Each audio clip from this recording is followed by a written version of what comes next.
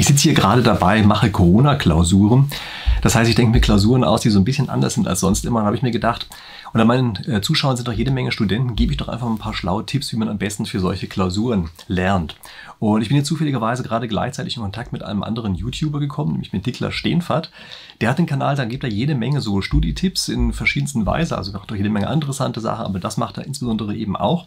Und dann haben wir gedacht, hey, machen wir doch einfach zusammen ein Video, in dem wir einfach ein bisschen darauf eingehen, was sind eigentlich so die typischen Lernfehler in Corona-Zeiten und wie kann man die ganzen Dinge äh, verbessern.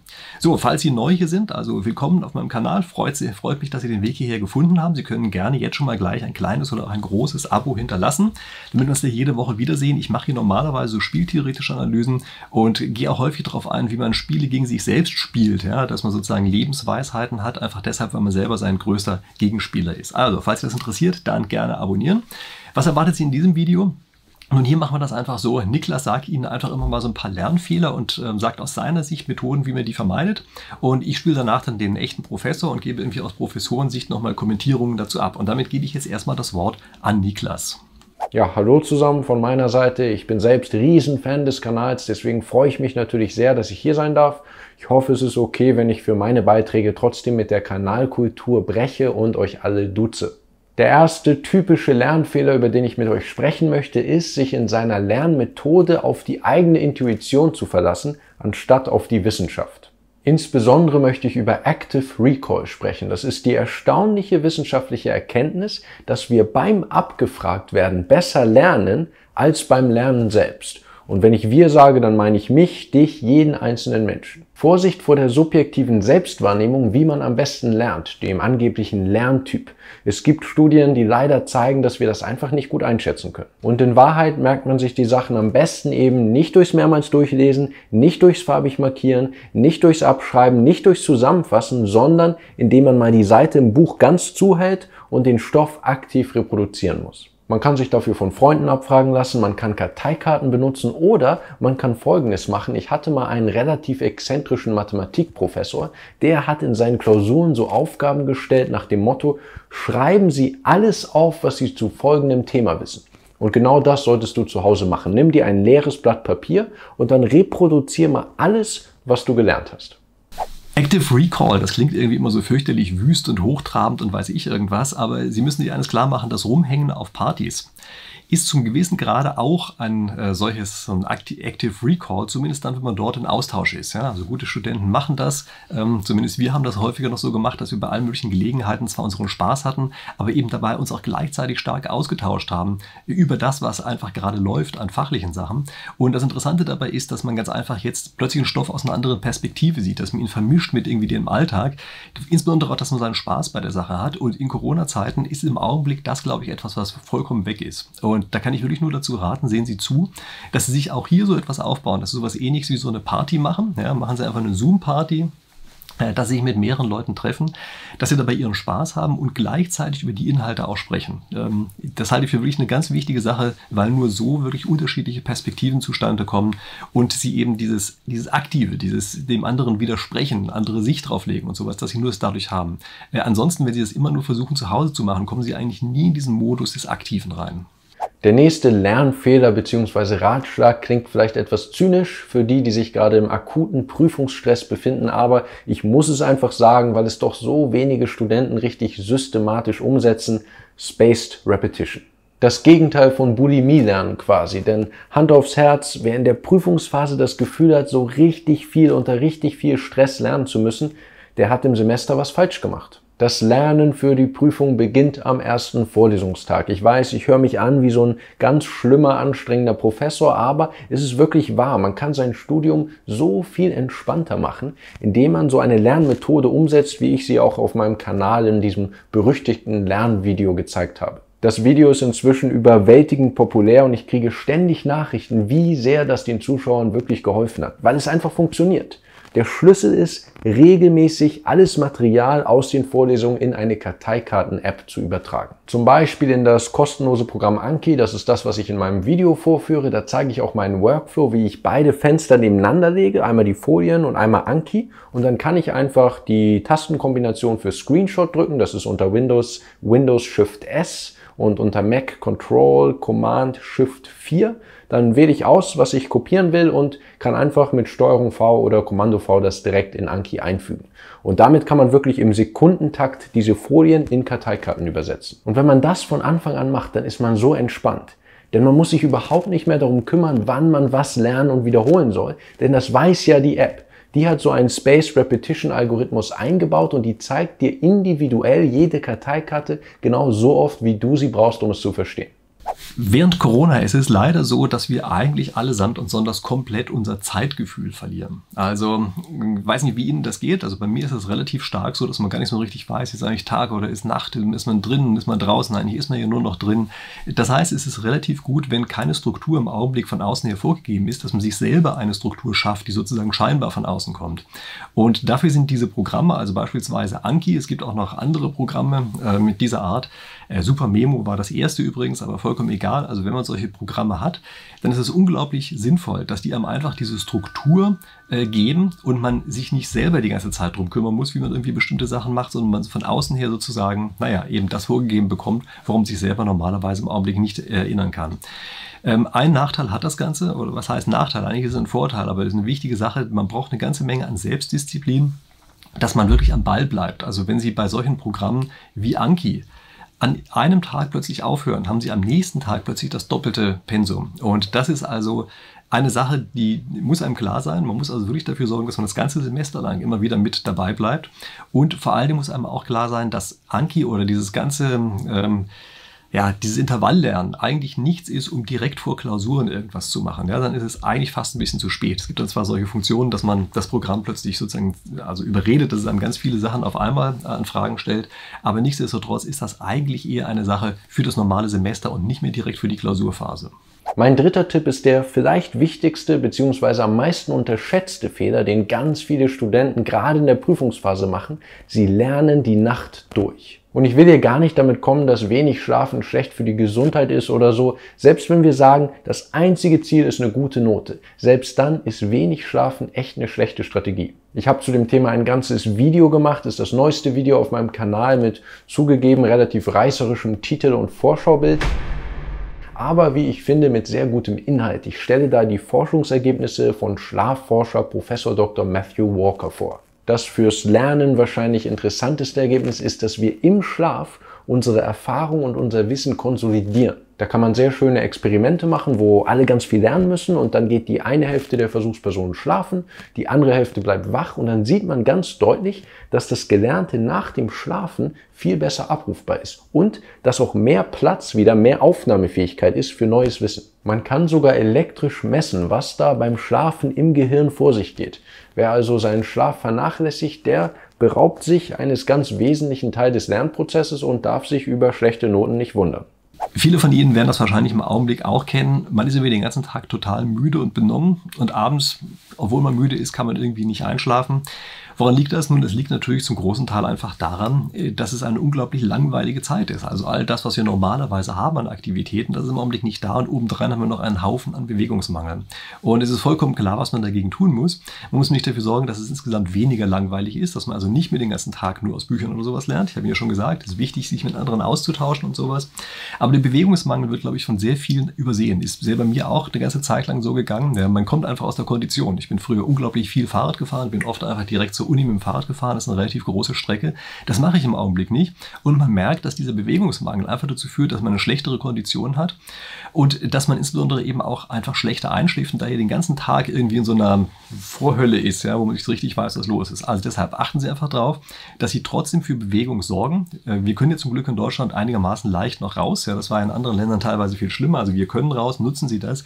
Sorgen Sie dafür, dass Sie irgendwie zur Bewegung kommen und sei es bloß, dass Sie einmal kurz zehn Minuten joggen oder sowas. Und dann eine Sache ist mir aufgefallen, gefallen das sieht man eigentlich bei der jüngeren Generation unglaublich oft, dass eigentlich alle in dieser typischen Handyhaltung sind, immer nach unten gucken. Sie müssen sich vorstellen, wenn Sie das tun, äh, dann ist einfach die Nackenmuskulatur extrem stark belastet, weil jetzt das ganze Gewicht des Kopfes ständig gehalten werden muss.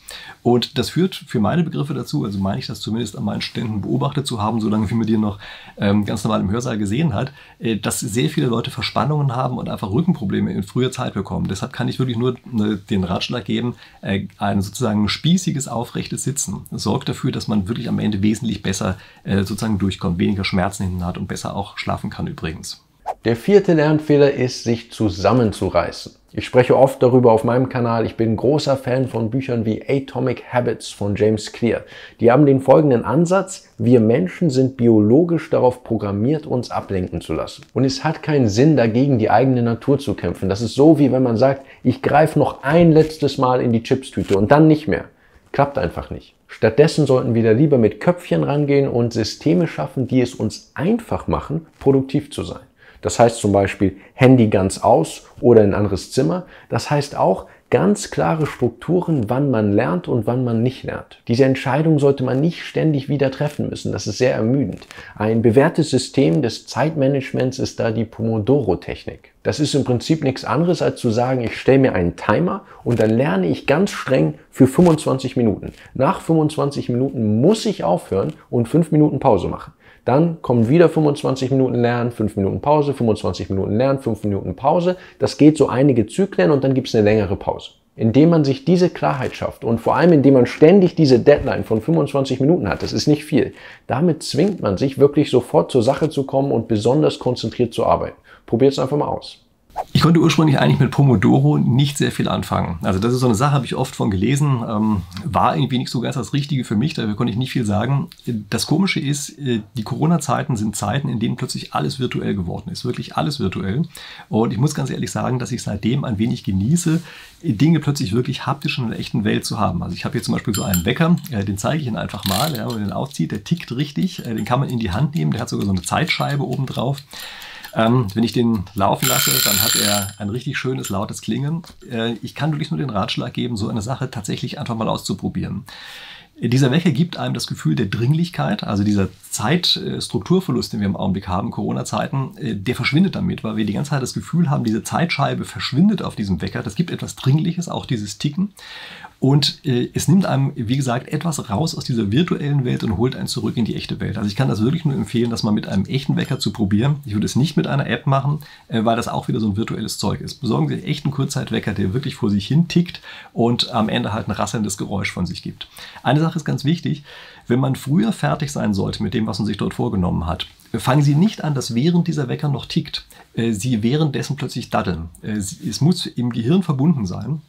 Äh, dass man sagt, solange es tickt, arbeitet man nur konzentriert und macht kein Handygedöns oder irgend sowas. Ja? Also das heißt, für den Fall, dass Sie vorher fertig sind, dann stellen Sie Ihren Wecker halt manuell auf Null, lassen ihn klingeln. Dann ist sozusagen das Bewusstsein da, jetzt ist diese Arbeit einfach durch. Dann machen Sie Ihre fünf Minuten meinetwegen Handyzeug oder sowas, wenn es sein muss. Also rumhüpfen wäre wahrscheinlich besser, aber wenn man es mit dem Handy macht, ähm, ist es wahrscheinlich besser, als wenn man keine Pause gemacht hätte. Und danach geht es wieder weiter mit der nächsten Phase. Also keinesfalls während der Wecker tickt, ähm, eben diese anderen Spielereien machen. Das waren meine vier persönlichen Lieblingslernfehler bzw. Lerntipps. Ich hoffe, es war in irgendeiner Form interessant oder nützlich, vor allem mit den Kommentaren noch dazu von Professor Rieck. Jetzt hatte ich allerdings persönlich das Glück, mein Studium selbst vor der Corona-Zeit abzuschließen. Ich habe diese berüchtigten Corona-Klausuren also selbst nie erlebt, aber ich glaube, Professor Rieck hat da noch ein paar Insider-Infos zu dieser besonderen neuen Prüfungsart. Es gibt eine Besonderheit in der äh, Corona-Zeit und das sind diese Corona-Klausuren. Ähm, sehr viele Universitäten machen das in diesem Semester so, dass es Open-Book-Klausuren gibt. Das heißt also, man darf alles, was man sich wünschen kann, verwenden. Man darf auch das Internet verwenden. Also eben sozusagen noch besser ist nicht nur ein Open Book, ist Open Internet, was man da hat.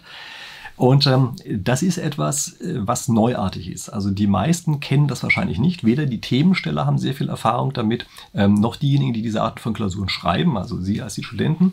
Und äh, das bedeutet, man muss hier im Augenblick so ein bisschen mit der Stange im Nebel stochern. Ähm, ein paar Tipps dazu. Sie müssen sich klar machen, am Ende sind Themensteller doch zum gewissen Grad unkreativ. Also es wird natürlich am Anfang immer erzählt, ja, das sind lauter Transferaufgaben, es wird alles irgendwie anders und sowas. Vollkommen anders kann es eigentlich nicht werden.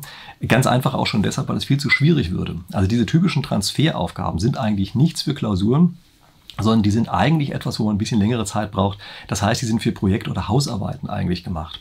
Natürlich kann auch in der Klausur zum gewissen Grad Transfer vorkommen, aber diese Transferleistung muss ganz einfach immer geringer sein, als wenn Sie eben den ganzen Nachmittag äh, Zeit hätten, darüber nachzudenken oder sogar mehrere Wochen Zeit haben, wie bei einer Hausarbeit. Das heißt also, sehr viele Professoren werden hier dazu übergehen, letztlich Zeitdruck als ein Stilmittel zu verwenden. Also das muss Ihnen klar sein, dass man sozusagen verhindern möchte, äh, dass Sie durch die Gegend surfen, einfach dadurch, dass eben die Klausuren wirklich vollgeballert sind Sie die ganze Zeit irgendwie unter Strom stehen und irgendwas zu machen, äh, irgendwas machen müssen. Äh, Sie müssen sich weiterhin darauf gefasst machen, dass diese Klausuren irgendwie anders werden. Also sind wahrscheinlich schon aufgefallen, dass in Corona-Zeiten alles immer irgendwie anders ist und das ist bei den Klausuren auch so. Das heißt, es werden wahrscheinlich solche Dinge reinkommen, wie dass es zum Beispiel mehrere unterschiedliche Klausurtypen gibt. Also es sieht dann nicht jede Klausur für jeden gleich aus, ja, sondern es gibt zum Beispiel zehn verschiedene Klausuren. Da müssen Sie ein bisschen aufpassen, ähm, damit man eben nicht einfach mit anderen zusammenarbeiten kann. Sie müssen sich auch darauf gefasst machen, dass wenn Sie äh, vor Ort schreiben sollten, was manchmal passiert, dass es eine sehr, sehr ungewöhnliche Situation sein kann, wenn man plötzlich in einer Messehalle schreibt oder sowas. Also das kann einen schon dadurch ein bisschen durcheinander bringen, weil vielleicht auch die Abläufe drumherum nicht so toll organisiert sind. Und wenn Sie zu Hause schreiben sollten, bei so einer typischen Online-Klausur, dann müssen Sie vorher unbedingt richtig geübt haben, wie man diesen Upload richtig macht. Ja, also das Abfotografieren der Klausuren, was Sie äh, geschrieben haben und der Upload davon, das müssen Sie unbedingt vorher geübt haben. Die meisten Universitäten bieten dort solche Probeklausur an, wo man das ausprobieren kann. Und das würde ich auch dringend sagen, dass Sie das machen. Ich würde sogar eigentlich fast empfehlen, besorgen Sie sich für die Zeit einen Scanner. Also sei es, dass Sie sich irgendwo einen ausleihen, wenn das irgendwie geht, oder meinetwegen, dass Sie sich vielleicht sogar einen kaufen. Ich glaube, das lohnt sich wirklich, weil damit einfach die Sachen in besserer Qualität eingelesen sind, auch schneller eingelesen sind. Und Sie müssen sich auch vorstellen, wenn jemand, der eine Klausur korrigiert, äh, lausige Handyfotos davon bekommt, dann ist der schon deshalb sauer, weil es einfach so schlecht lesen kann. Also ich würde sagen, sich einen Scanner zu besorgen, ist wahrscheinlich gar keine ganz schlechte Idee. All diese Tipps zum Lernen und zur Vorbereitung sind ja schön und gut. Ich frage mich aber doch ehrlich gesagt, ob ich als Student nicht arg in Versuchung gewesen wäre, bei einer Online-Klausur einfach alle Aufgaben zusammen mit meinen Freunden zu bearbeiten. Was ist da wohl die Sicht des Professors? Eine Sache bei Online-Klausuren ist ganz wichtig. Viele denken darüber nach, kann man das eigentlich nicht auch so ein bisschen gruppenmäßig machen? Ja, also dass man so eine Art Teamarbeit für diese Online-Klausuren macht. Ähm, ich möchte da auf zwei Zielkonflikte hinweisen. Der eine Zielkonflikt ist, Sie brauchen für äh, die Kommunikation Zeit. Das heißt also, je mehr Sie äh, Zeit verwenden für Kommunikation mit anderen Teammitgliedern, desto weniger Zeit haben Sie am Ende für die Bearbeitung. Ich habe mir schon gesagt, es wird auf jeden Fall immer so sein, dass relativ viel Zeitknappheit bei diesen Klausuren besteht. Also das ist ein Zielkonflikt, den Sie unbedingt im Kopf halten müssen. Äh, das heißt, besonders viel an Teamaustausch wird dort nicht gehen, selbst wenn der technisch möglich ist. Und Zielkonflikt Nummer zwei ist etwas, was ich mal als Wissensdissipation bezeichnen möchte. Also die Verbreitung von Wissen. Äh, Sie müssen sich klar darüber sein, dass wenn Sie selber an irgendeiner Stelle eine tolle Antwort haben, dass diese Antwort ihre Tollheit verliert, wenn sie plötzlich eben zehnmal da steht. Äh, oder vielleicht auch schon, wenn sie nur dreimal da steht. Also ich werde mit sehr, sehr vorsichtig, wie viel man nimmt, wie viel man gibt und wie viel Zeit man verwendet äh, für die Kommunikation dazwischen. So, ich glaube, das sind die Dinge, die ich aus Professorensicht so sagen kann und viel mehr sollte ich vielleicht auch dazu gar nicht sagen. So, damit sind wir jetzt drin ähm, oder am Ende von unseren Corona-Klausurtipps. Ähm, ich hoffe, das hat Ihnen einigermaßen gefallen, was wir hier gemacht haben. Ähm, falls Sie äh, Niklas Kanal noch nicht kennen, ich kann wirklich nur empfehlen, schauen Sie dort einfach mal rein. Wir haben dort übrigens auch noch ein anderes gemeinsames Video gemacht. Äh, da geht es um Bitcoin. Also für den Fall, dass Sie das interessiert, gucken Sie gerne mal bei ihm auf dem Kanal vorbei. Ich verlinke Ihnen das jetzt hier gleich nochmal, auch als Endkarte und unten drunter natürlich auch. Also volles Programm, überall, wo Sie es äh, finden können, werden Sie das Ganze auch finden. Und wie gesagt, es lohnt sich wirklich auf dem Kanal nachzugucken. Äh, ich fand nämlich, dass da wirklich tolle Tipps drauf sind. Ansonsten, ich wünsche Ihnen jetzt erstmal viel Erfolg, äh, sowohl für die Prüfungsvorbereitung als auch in der jetzigen Prüfungsphase. Und ansonsten, ich würde sagen, wir sehen uns dann wieder in der nächsten Woche in aller Frische, wenn Sie hoffentlich auch schon mit der einen oder anderen Prüfung durch sind. Bis dahin.